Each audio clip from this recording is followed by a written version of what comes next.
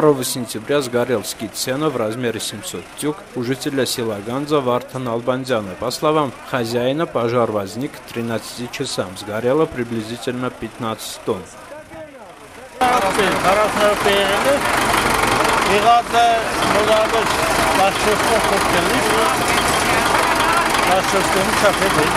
Açar içinin içine.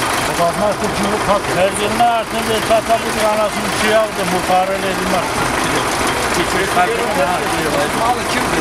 Пожар первыми увидели соседи и сообщили хозяину и сразу позвонили в пожарную службу. Пожарные относили общими усилиями потушили огонь.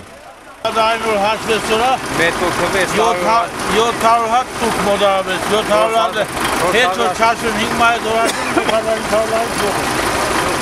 Пожарная бригада Нинаспинского муниципалитета провела соответствующие мероприятия по устранению пожара.